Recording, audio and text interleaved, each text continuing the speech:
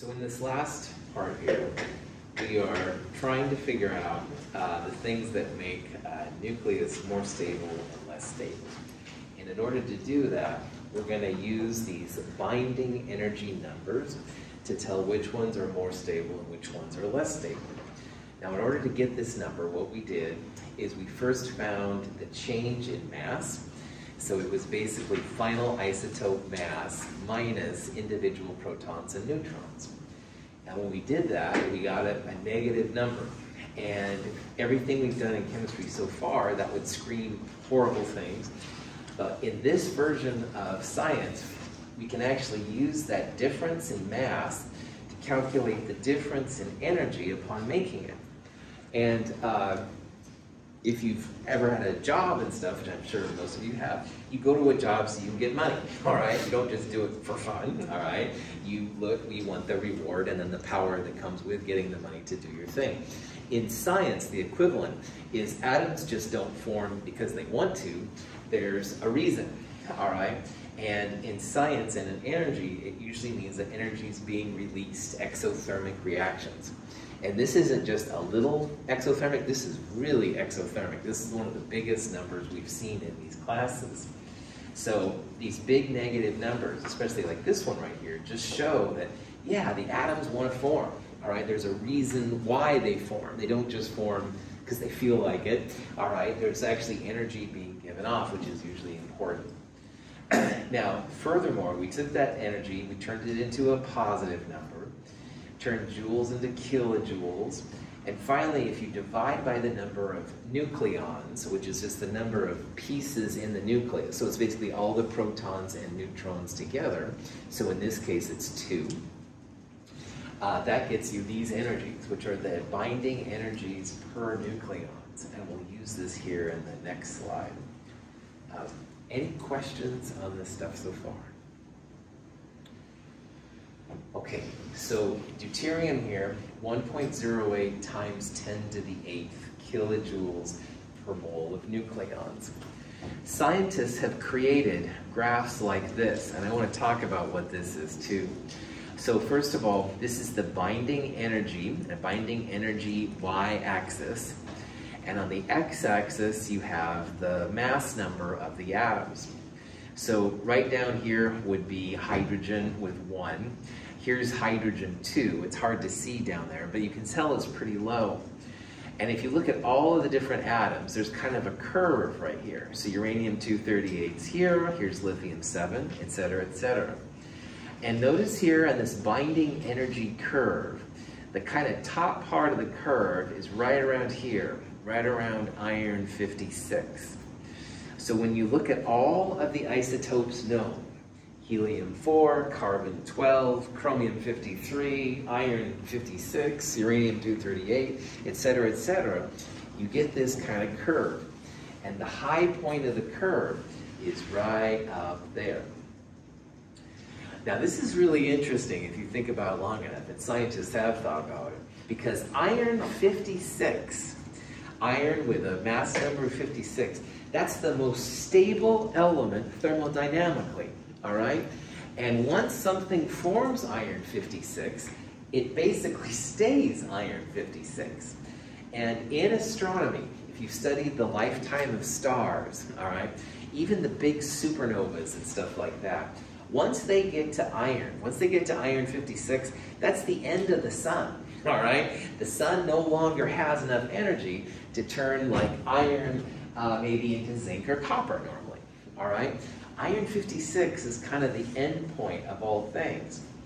And that's really fascinating because what that means, if all the elements essentially want to be like iron 56, that means that one day all of our carbon, hydrogen, oxygen, nitrogen, caffeine, etc., etc., it's all going to turn into iron. And when it turns into iron, that's the end. No more transformations after that. So that's a little bit nihilistic at this point because, wow, you get to iron, that's basically the end of everything, all right? Now, in an earlier lecture, we talked about how all graphite is, or all diamond is going to turn into graphite, all right? And oh, you know, end of the world and stuff like that. But I also told you at that time, I said, don't go selling all your diamonds because The transformation of diamond into graphite takes thousands upon thousands of years.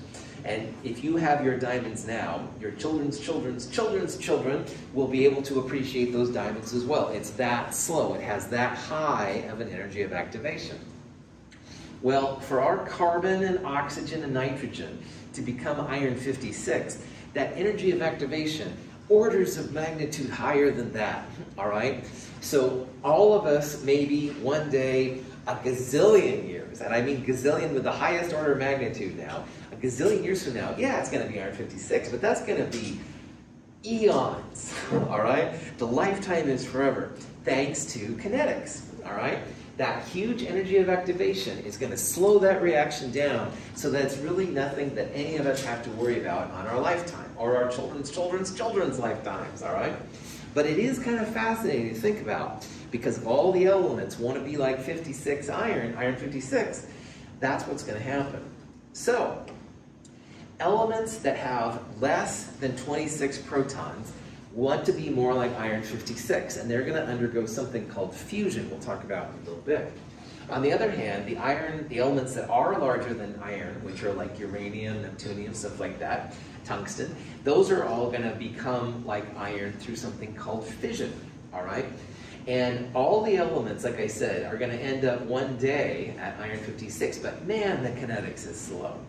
So nobody go home tonight and think, oh, end of the world as we know it. I, no, don't do that. all right, all right. These are like so far out there in time, all right, that we don't have. But it is kind of interesting to think about how the universe maybe will progress one day. Questions? All right. So even though this is a little bit like you know end of the universe kind of thing the kinetics of the thing is so slow that none of us have to worry about it. And in the meantime, it gives us a chance to think about other things. Maybe we're missing parts in the theory. I think you had a question. Um, yeah. so, like with the new telescope that went out uh-huh. and all that. Yeah. Uh, have they seen like any other universes like where a planet has like had like all of their elements turned into one element? Good question. And the answer is no. Um, there's like some collections of iron that have formed from super energetic processes, so everything did that together, as I understand. But no, there's no planets or anything, even a planet size. I think they're more like asteroid size. So, you know, you're seeing evidence of it here and there, but they're still pretty rare. And so, on an astronomical scale, it's incredibly rare, which is another reason that there's nothing to stress out about. Good question. But that's also why I find astronomy kind of interesting, because I'm thinking about everything going to iron in the back of my mind, you know, and, and what it takes to get it there. And uh, But so far, yeah, nothing like that. So good. If nothing else, when you look at the whole universe, the dominant element is still hydrogen, the simplest one, right? And there's a lot of helium, and everything else is a lot less. So, um, so there's still a long ways to go before we got to something like this. All right. Now, a question that you might see is which of the following nuclei has the highest binding energy per nucleon? And one thing you could do is you could look these kind of numbers up on Google or something like that. But honestly, all you have to do is find the element which is closest to iron 56. So on the periodic table, is lithium, nickel, helium, or thorium, do you think closest to iron? Nickel, yeah. So nickel would be what you would predict. Now, I went to the internet, because I don't know any of these numbers, and I looked up the different binding energies. Now, these are in what's called a mega electron volt, and there's about 10 to the 13th joules per mega electron volt if you want to convert. But either way, the nickel 59 was the highest one, right? That has the highest binding energy. But you don't really have to do this. You just want to find the element which is closest to iron. And I'm not talking like down to up. So like uh, ruthenium versus cobalt, cobalt would be the one because it's literally closest and stuff in mass. So. All right, so now what we'll do is we'll talk about fission and fusion a little bit because those are the things that help make the atoms more like iron eventually. And the first one we'll look at here is fusion. And uh, I'm super excited as a human being and as a scientist about fusion. Um, a lot of our energy right now, of course, comes from gas-powered things, which have carbon dioxide emissions, greenhouse gases, and stuff like that. fusion is pretty cool because you take two light elements and you fuse them together to make a heavier element. Now the elements have to be less than iron, but what's often done is they'll just use hydrogen or helium, something like that. All right, pretty chill. And the amount of energy that's released is just massive, all right? So this is deuterium and tritium, two hydrogen isotopes combining to make helium-4 and a neutron. And again, a lot of energy is really happening. Now, fusion is different than fission. So if you've heard about the problems with nuclear power, they're usually referring to fission, which we'll talk about later. Fusion, if anything bad happens to a fusion reactor, you just literally shut it down and you'll have hydrogen floating around, which you don't want to snow smoking, all right, and maybe some helium. So that would, but that's about it, all right. And the stuff will dissipate quickly. Uh, it's pretty chill. Now you do need super high temperatures, and you need something called plasma, which we'll talk about in a little bit, which is hard to make. But it's a very clean energy, all right, super clean. All right, solar and plasma, I think would be just so cool to have. And the more I enter, more stuff I see about uh, solar and plasma, the more excited I get. So we'll talk a little bit here about what fusion is, and also there's been some pretty cool results about fusion here lately. Now, in order to understand fusion, though, we have to talk about plasma. And this isn't the plasma that people want when you go and donate blood for money. All right, that's a blood plasma. It's like a concentrated version. Plasma, in this context, is actually a whole fourth state of matter. So we've spent so much time in Chem 222 talking about gases, solids, liquids, solutions, stuff like that. Well, plasma is a fourth state of matter. And even though it's rare on the Earth, in the universe, it's the most common form because all of our suns and solar flares and stuff like that, it's all plasma.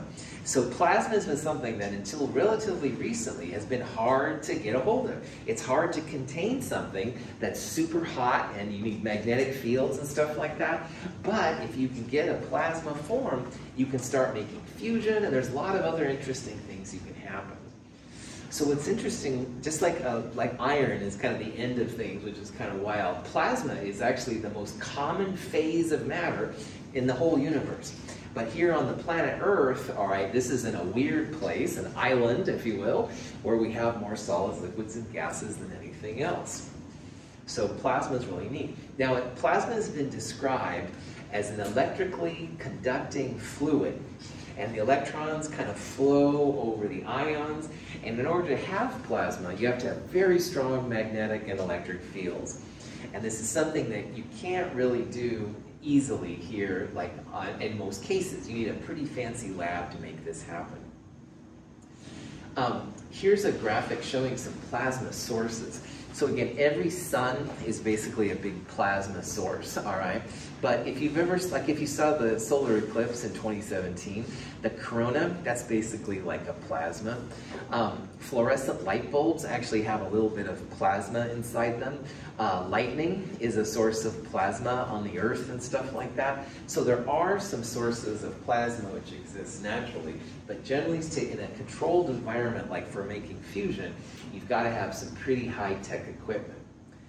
However, I'm now going to show a video uh, that some of my students made a couple years ago, and they claim they made plasma in their microwave.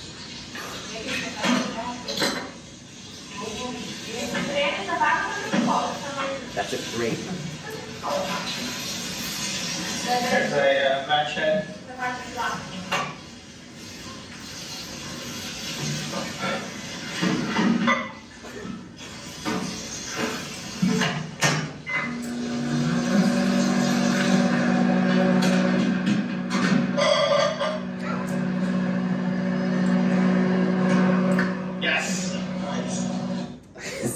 Um, these guys, first of all, they were really cool people, all right? But anyway, they said, oh yeah, we can make plasma in a microwave. I'm like, what the? So I thought, oh, come on. So they made this video, and I was like, well, okay, something did happen there. So I did some research on it, because I thought, no way. In a microwave, microwaves are much lower energy than, than other kinds of energy, of course. And, and a grape and stuff, well, I did a little research and I don't know. Maybe it is plasma. So I can't honestly explain what's happening there. They claim, and a lot of scientists claim, that this is a way you can see plasma for a second there before it comes back down to Earth. I can't explain it. I don't know if I'd recommend you try it at home because I don't know what it would do to your microwave. But if you want to try it, they just cut the grape in half and put match heads inside and then put that container over it kind of to contain the energy. I don't know. Anyway, normally what people do when they want to have plasma is they have to create some kind of really high energy thing with gases and stuff. I mean, super hot, super magnetic fields. And in a fusion reactor, and we're talking here about a type of fusion reactor called the tokamak, which I think is the most common. The tokamak reactor has like a donut, if you will. And plasma is introduced, and the plasma essentially just circles around super, super fast. So all around this, this is the inside of the donut. Over around you have this really strong magnetic fields, electric fields, and stuff like that. And from this energy then, you can make the atoms actually collide together to make fusion. So it takes a lot of energy to make the tokamak turn on, and the goal is to get more energy out of the tokamak once the energy's been turned on. And for a long time, that was really tough, but now, gosh, they're showing some real promising kind of results from it. So there's different kinds of fusion reactors. This is just the one that uh, I hear about most often, tokamak.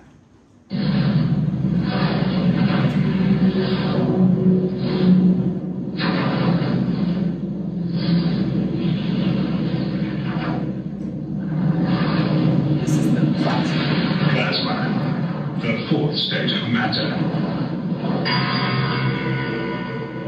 It represents more than 99% of the total matter in the universe. This is from a company that wanted you to invest in them. They were going to do fusion, but I thought it was kind of a fun, a science fiction like reactor. Anyway, this is um, an example. I believe this is from San Francisco. This shows the inside of the tokamak. There's a person standing there, and this is the outside. So very sophisticated equipment. You know, you have to have really concentrated things. But what's really cool about this is they've had some real big results happen.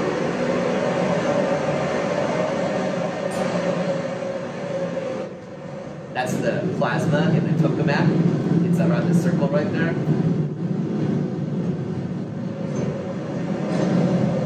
I don't know how they got this video, by the way. I'm just amazed. But anyway, in 2015, uh, this German group said that they had created, they got more power out than they put in, which I thought was really cool. But now, just this year, just this month even, wow, uh, the UK actually created this thing, and they got 59 megajoules of energy out of this fusion reactor. And that's freaking awesome because again, this is clean energy. You know, something happens, just turn it off, and you know the fusion goes or the plasma goes down to regular matter, and you've got hydrogen running around. But it's a lot better than the next one we're going to look at, which is fission. So I'm really hopeful that one day we're going to have most of our power fuse uh, through fusion and solar. Solar's awesome too. Don't get me wrong. I love solar power too. This is more of a chemical version of something I can talk about. Yeah. How many zeros are in a megajoule? Oh, good call. Um, that's a great question. Uh, a mega is 10 to the 6, Juliana.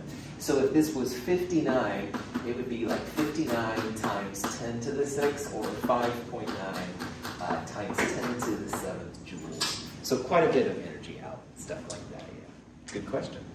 Mega is like the mega megabytes and stuff. It's one of the bigger prefixes we haven't talked about. Really good question, yeah. Other questions? Yeah. I mean, like, would this ever be a practical use for clean energy? Like, is like the cost to make the energy worth it? Yeah. Once they can get it sustained, then Kate I, I think it's totally going to happen, all right? And this was the first group that was getting there, and now the UK people have actually gotten even closer. So I am hopeful that, yeah, it's going to happen. It's not quite there yet, all right? Like PGE doesn't have fusion reactors set up somewhere that they give us our local energy, okay? But um, it's, it's getting closer and closer, all right? Like at first it was just for a little bit they could do it, and now it's for longer amounts of periods they're getting it out. So I'm, I'm hopeful, all right, optimistic, yeah. And what could 59 megajoules of energy like power hypothetically? Like like a, give me a s like just a scale. So yeah, um, so a kilowatt hour is what PGE uses to report. And um, there's a conversion between kilowatt hours and joules. And uh, if you email me, I'll send it to you. I honestly don't know. You're okay. Uh, yeah. Um, when I was living by myself, I think I was using three kilowatt hours of, of energy per day. And I think that's like 10 to the third joules. But I should send that to you because I'm not totally sure on that. But, um, but anyway, this amount is enough to, I think, to power more than a, a couple homes, all right, for like a day and stuff. So, um, so it's not an inconsequential amount. And that's why I'm hoping that one day, but, but it, it isn't there yet. Really good question. All right. So fusion, I think, is really going to be helpful one day. It's not there yet, but man, we're getting closer. I get really excited every time I see fusion things. In the nuclear fission of uranium-235, a neutron collides with a uranium atom, causing it to fission into two smaller nuclei. On the average, three neutrons are emitted for every U-235 atom that divides.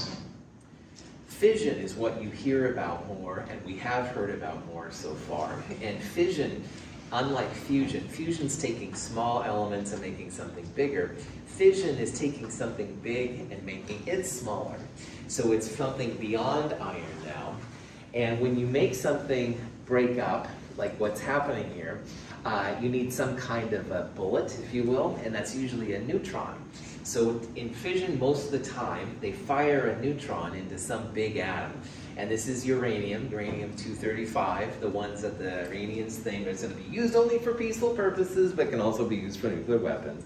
Anyway, the U-235 is a great fissionable material. It breaks down readily, in this case into a barium, into a krypton, and a couple more neutrons. So the energy comes from taking a big element and making it smaller, making it more, if you will, like iron. A um, couple of things though. Fission, you do need some kind of neutron to get the party started, to start the reaction. And one neutron usually creates more than one neutron on the end. So you go from one neutron to three neutrons, and three neutrons would go to nine neutrons, et cetera, et cetera, like that.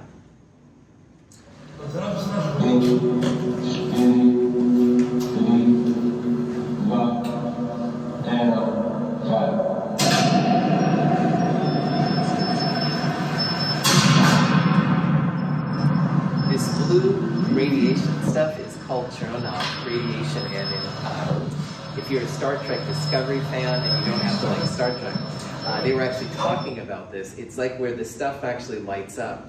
Now, most of fission would look invisible. There's no nothing that would show up in our in our eyes. But this is one type of radiation which is a byproduct of fission that you do sometimes see. So there's not much to physically see, but you do get a lot of energy out. And if you get energy out, you can make steam turbines roll and stuff like that. If the mass of U-235 is less than the critical mass, no chain reaction will result. Most of the neutrons will escape to the surroundings.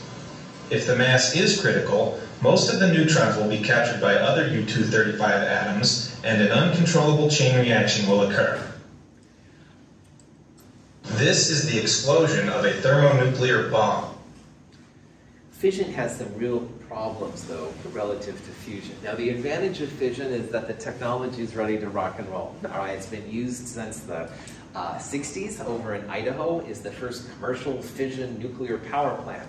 And you can see it, they were the first ones to create energy for household consumption. On the other hand, fission's had some big time problems. Number one problem is you've got to control those neutrons. If you don't control them, the reaction just keeps escalating faster and faster and faster. And an uncontrolled fission reaction is what creates then nuclear explosions and stuff like that. So number one thing, control your neutrons more than anything else. The second thing is that sometimes the products created in a fission reaction real messy, all right? They're dangerous. You can't just plug them into the waterway and expect them to go away. So the products of fission are real tough to get rid of. And they talk about um, places to store the leftover material.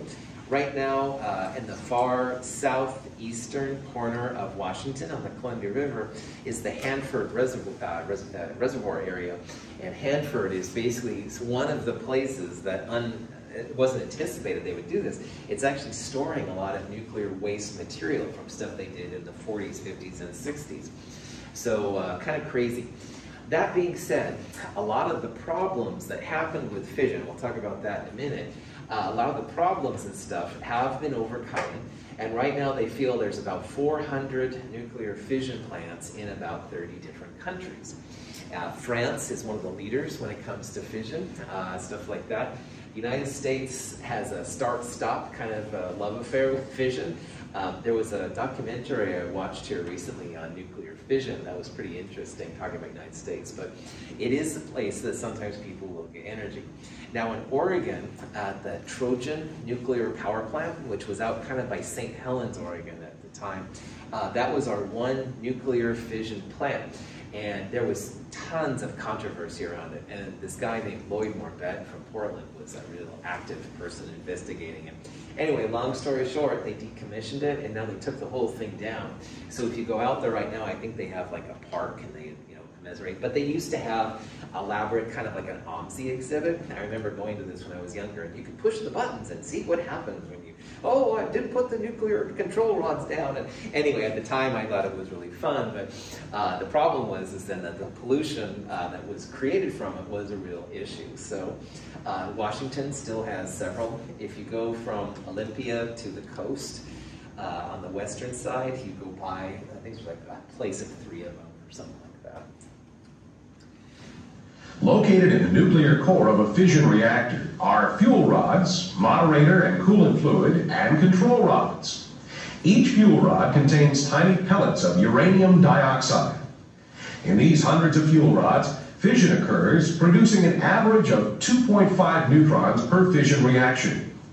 The fuel rods are surrounded by water, which acts as a moderator by colliding with the neutrons and slowing them to a low thermal level.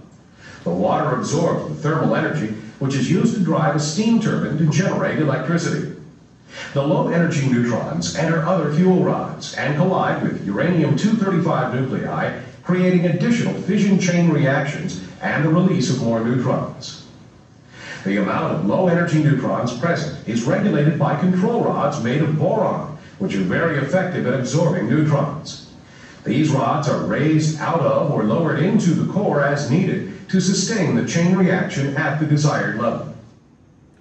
So when it comes to nuclear power, when people talk about it, you have to remember that there's fission and fusion, all right?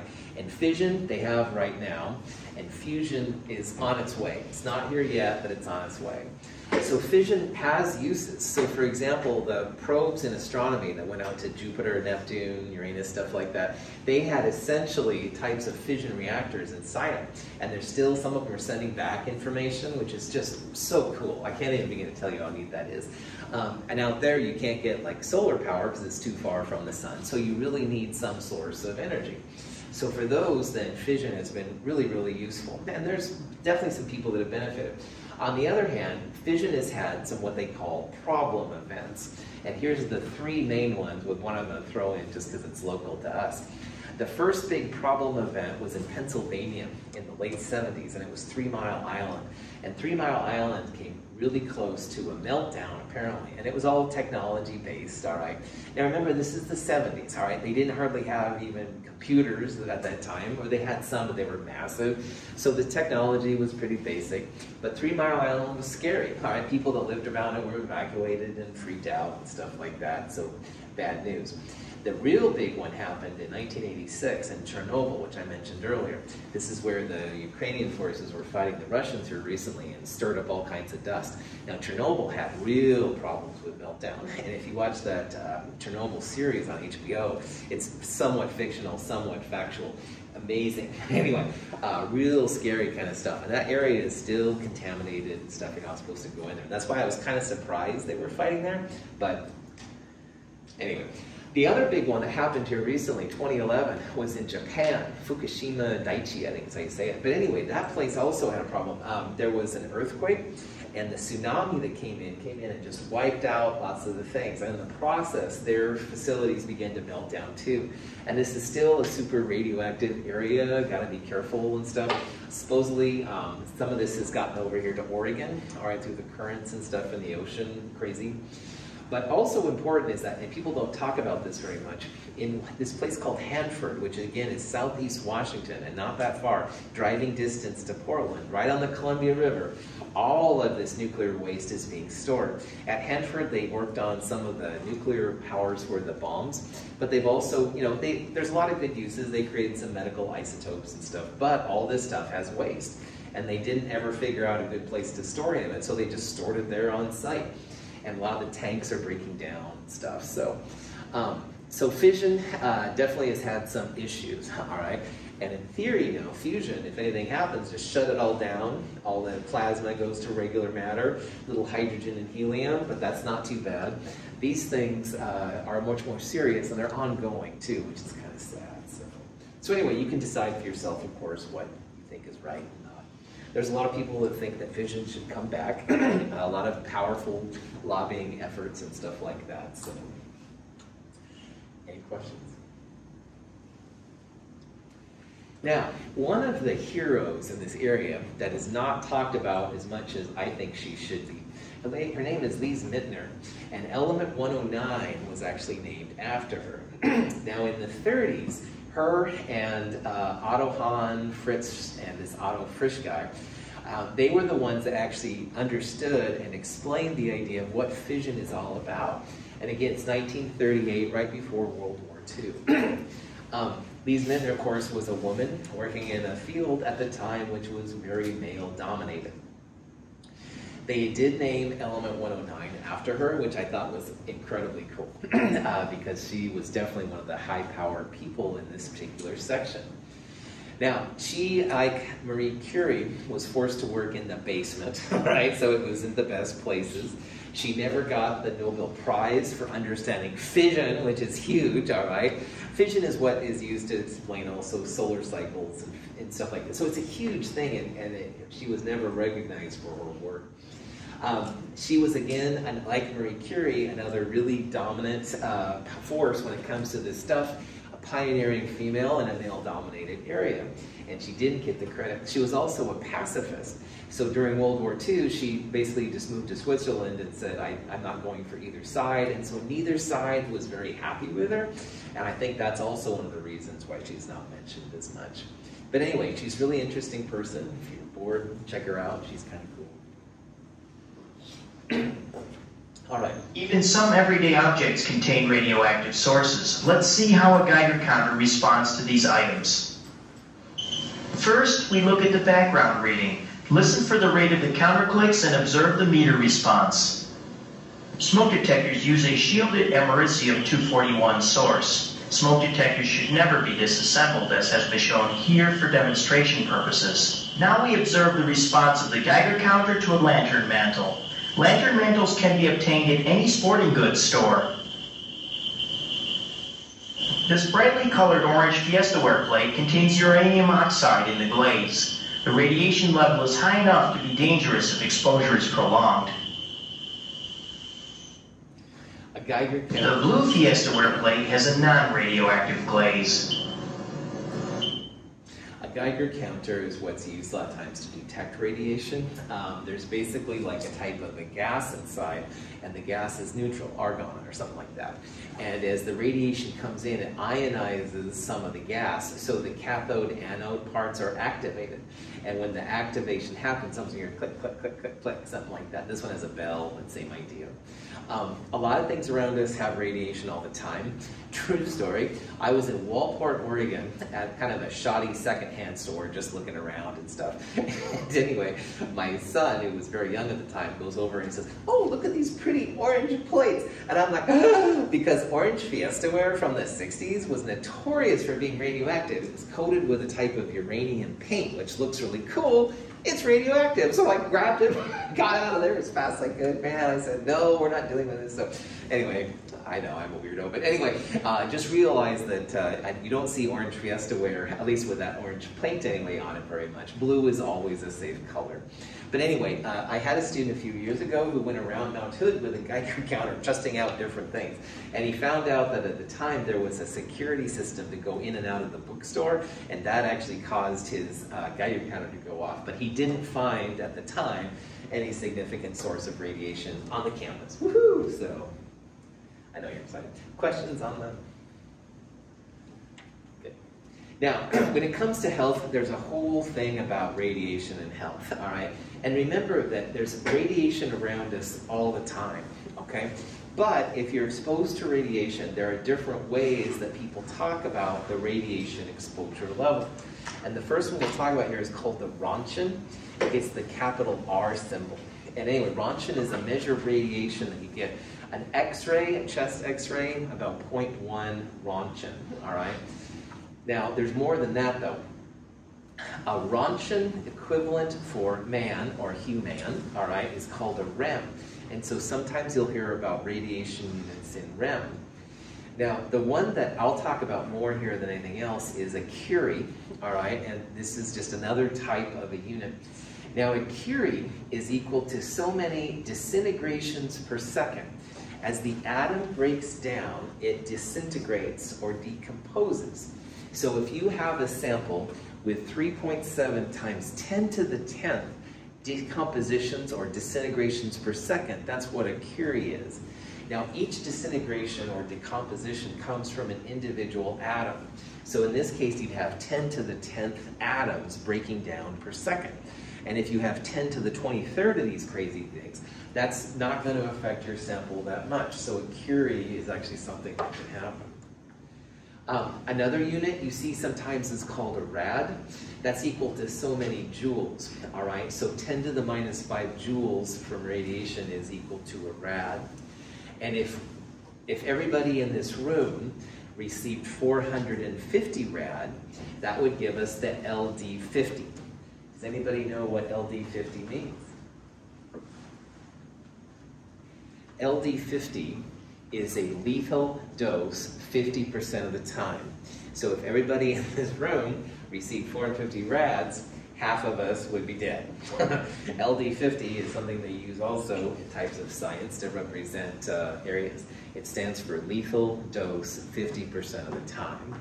This stuff always freaks me out. That's why I did basically inorganic things because everything was not going to do this. But anyway, it is a cool thing to know that just so we want to try and not have a lot of radiation, but again, there's radiation around us all the time too. So here's a question that might be something to think about. we should try to live as radiation free as possible. And let's see which of these statements you agree or disagree with. First of all, yes, all radiation is bad and it's best to have no radiation exposure at all. What do you think about that one? Yeah, no. There, there's some radiation around us all the time, all right? All radiation is not bad. There's good uses for it too. It's used for x-rays and it's used for PET and stuff at OHSU. So there are good uses for it. You don't want to necessarily run from it if there's a good reason for it. I mean, you don't want to go exposing yourself, but that's okay. Yes, but we gather some radiation exposure naturally due to geological processes in the Earth and from space, so some radiation exposure is normal, natural, normal. You can probably imagine where I'm going with this. Of course that's the right answer, because there is some radiation around us all the time, all right? It comes from space, solar things, it comes from the Earth, some kind of geological stuff going on. So some radiation is normal, all right? If you fly, you get more radiation than if you don't fly, for example. The other ones are just silly. No, we'll trust the government. Said.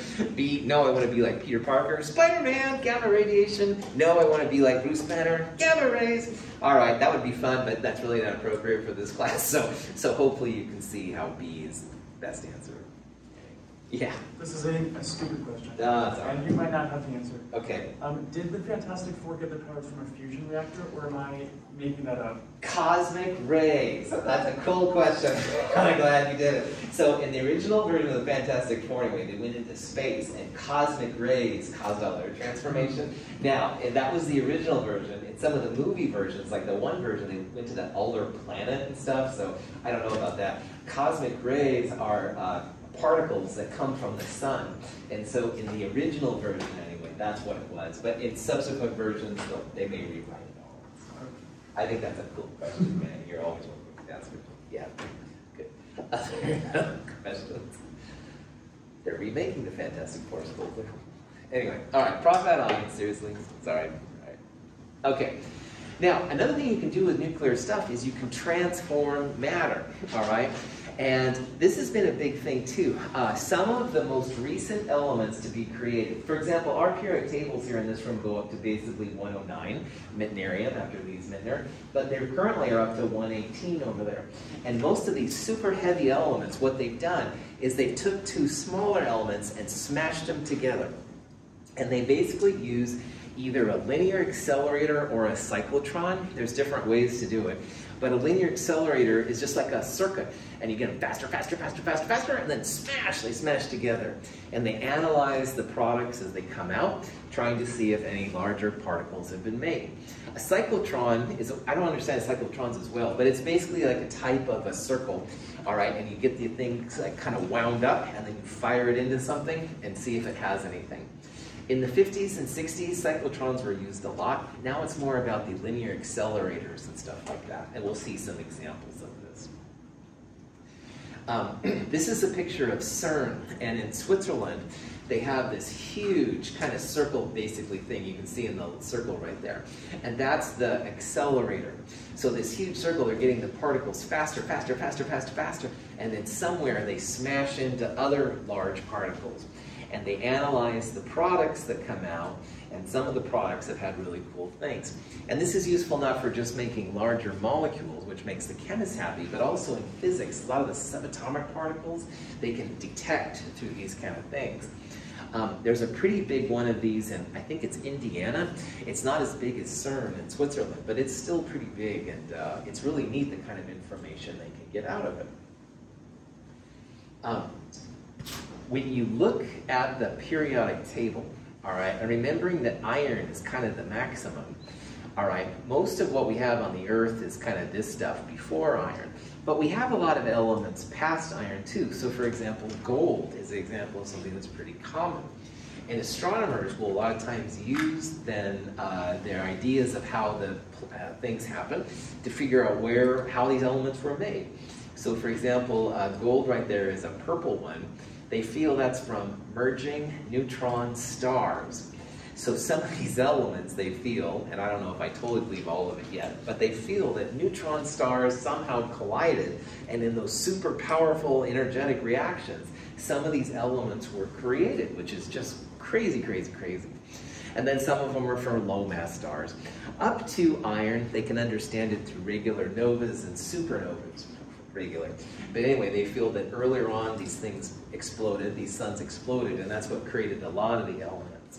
But the ones past iron, they had to do them. Here's cosmic rays, by the way. Some of the pink ones are cosmic ray fission. The cosmic rays themselves were enough to create. Um, this is a term I'd not heard before, but a kilonova is when two neutron stars collide together. And this is becoming something they're talking about more in the astronomy world too. But these kilonovas are apparently responsible for some of the elements that we see on the Earth. For example, gold and stuff like that, which is just wild. But anyway, this is some of the areas in astronomy where astronomy and chemistry kind of overlap. They're just trying to explain how we have, for example, so much lead. Because lead is quite a ways past iron, the maximum thermodynamic thing. These are the ways they can use to explain how they happen. My main MC, Alpine Cat. With the serendipitous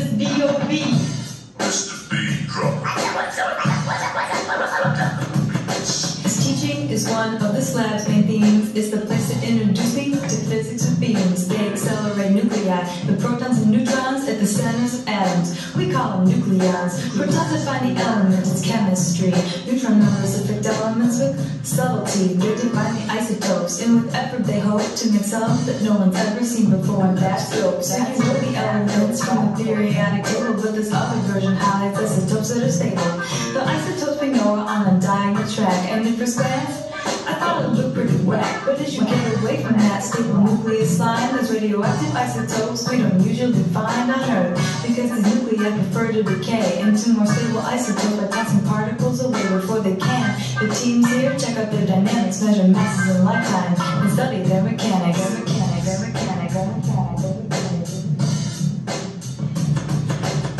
Building out here with mysteries to solve like what reactions drive stars. And how do they evolve the strong corresponds nuclei, but we still can't say exactly why some are stable while others decay. A more powerful machine can push the frontier. The physicists here, they get nuclear, nuclear, nuclear. Let's say you were making a new kind of nucleus in FRIB, a fine facility that's long been discussed. The starting atoms, they're just ordinary stable isotopes. They're easier to store and carry. You strip off their electrons for a charged state. They zip through electric fields meant to accelerate. Then you send them into something. We call it the target. Five percent of your nuclei are gonna really hit it. Those that do will be different from your starting crew. They've lost protons and neutrons, or maybe a few. All kinds of fragments have just been created, so you put them through a magnet. They can be separated. If it's got lots of protons, it takes an inside curve, but more neutrons tend to drag it for an outside swerve. You filter out the isotopes you don't want in the stream, and voila, you got a rare isotope beam. And to put your nucleus on the nuclear map, you'll then measure it in a detector or trap. This facility is for research and to teach, so that you can be more than just a figure of speech. Speech, This video goes on for quite a bit longer, and it's got some cool science, so that's why I showed it. But anyway, in this video, they showed some of those uh, peninsulas of stability, which are basically surrounded by the unstable isotopes, and they're trying to look for more stable ones, or at least ones they can detect. And so they accelerate that thing in the cyclotron, whatever. They fire it into the target. They use the detector. Detectors are basically mass spectrometers, which we talked about, which are ways to find the molar mass of different pieces. Some of them are just around for a little tiny bit, and some of them are around for longer. But a lot of the elements, the most recent ones, have been found using these kind of systems. So uh, pretty cool. If this is anything you're interested in, this is from Michigan State. They do a lot of this kind of work. There's a couple institutions across the United States, but I fell in love with their little silly song there. So anyway, questions on?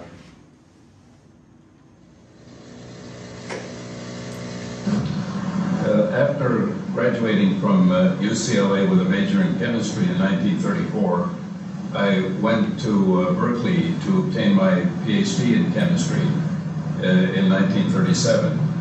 And uh, then a few years later, I became involved uh, in the research to synthesize and identify the so-called trans uranium elements. Uranium has the atomic number 92 and is the heaviest naturally occurring element. And uh, what we uh, did was go on to produce by nuclear bombardment uh, elements with atomic numbers greater than 92. Uh, for example, 93, 94, 95, 96, and so forth. The most important one, of course, is the element with the atomic number 94, plutonium, which has the uh, fissionable isotope uh, that uh, is used uh, in atomic energy and was used in the atomic bomb that uh, brought an end to uh, World War II uh, when it was used at Nagasaki. Uh, we named uh, plutonium after the planet Pluto, just like uranium had been named after Uranus and Neptunium after Neptune. Uh, we could have uh, given it the name Plutium after the root Pluto, but we like plutonium better, and we should have given it the symbol PL but we like PU better, and uh, we thought maybe we would be criticized for giving it that kind of a symbol. Um, we went on, after I moved to Chicago to work on the chemical processes for the separation of plutonium for its use in the atomic bomb, to the metallurgical laboratory of the University of Chicago, and here uh, we went on to discover the next two elements, with the atomic numbers 95 and 96. And in order to do this, we had to predict the chemical properties using the periodic table, but the form of the periodic table at that time was wrong, and I changed it and uh, created the, the actinide concept for placing the heaviest elements in the periodic table. Uh, for this, I received the Nobel Prize in 1951 uh, so that shows you how easy it is to uh, uh, do work that would uh, give you a Nobel Prize. One of the uh, elements that interests me very much that was synthesized is the element with the atomic number 106, which has been given the name by the discoverers, of which I am one, uh, Seaborgium, with the symbol SG. Uh, the uh, Commission on Nomenclature of Inorganic Chemistry of the uh, International Union of Pure and Applied Chemistry that have to approve uh, this name uh, rejected it because I'm still alive and uh, they could prove it. But there was such a universal disapproval of that action that it now looks like the name Seaborgium for element 106 is going to remain. And of course, I'm very pleased about that. This is a very high honor. I think it's a greater honor than e even receiving the uh, uh, Nobel Prize because it, uh, it, will last forever. The name Seaborgium will be in the periodic table 100 years from now, 200 uh, years, 1,000 years from now. Actually, a total of uh, 20 trans-uranium elements have been synthesized since that first uh, synthesis of element 93 and 94 in 1940 and 41. So that now we're up to element 112. And uh, it looks like it's going to be possible as the years go on uh, to uh, synthesize and identify perhaps another half dozen uh, transuranium elements. I think this will occur uh, after I'm gone, but uh, uh, perhaps during the lifetimes of many of you, and perhaps some of you will be involved in the discovery of these additional transuranium elements. Seaborg went to a community college in California, and he didn't know what he wanted to do. And long story short, he ended up being one of the power pioneers of all these heavy elements. He's a really cool guy, but I did want to point out that he went to community college and he became really powerful, and you guys can too. He's a really interesting person. He was the advisor to lots of different presidents, uh, stuff like that. But I'm running out of time, so we'll just continue on. I'm not going to show this video, but this is on carbon dating. Carbon dating usually involves carbon-14. Carbon-14 is uh, really cool. There's problems with carbon dating, and some people will say, oh, carbon dating doesn't work. Well, there's other ways to measure the length, uh, the time that something has been sitting besides carbon dating. It's all about half-lives. So you can see their symbol there for half-life, 5,730 years, uh, which is really cool. And so carbon is in the hot light. Uh, there's a lot of controversy around it, but it is cool. And finally, I was going to show a video on nuclear chemistry and medicine, and PET and MRI are both used a lot. Uh, PET uses these positrons, which is really crazy. MRI isn't really a nuclear chemistry creator. It doesn't create like particles, but it does involve the nucleus. It involves making the spins run around, and they're both really, really helpful and stuff like that, blah, blah, blah. But that's it. That's it for nuclear science. Thanks for hanging out here, gang. Uh, Wednesday's class presentation day. Can't look, can't wait to see them. Bring your paper, do your presentation just in front of this class. Uh, we don't have a lab or we don't have a problem set or quiz that week. You will turn in Kinetics 1 from last week. Questions on any of that? Have a great day.